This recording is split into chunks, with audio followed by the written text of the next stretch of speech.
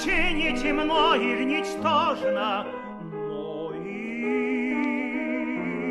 без волнения внимать невозможно, как полные звуки тоской ожидания, в них слезы разлуки, в них трепет